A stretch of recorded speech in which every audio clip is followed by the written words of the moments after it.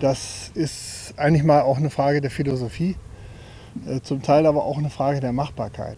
Das ist natürlich eine Sache, die hängt auch von der Kultur ab und da ist die Aronia eigentlich äh, eine Kultur, die sich dafür eignet.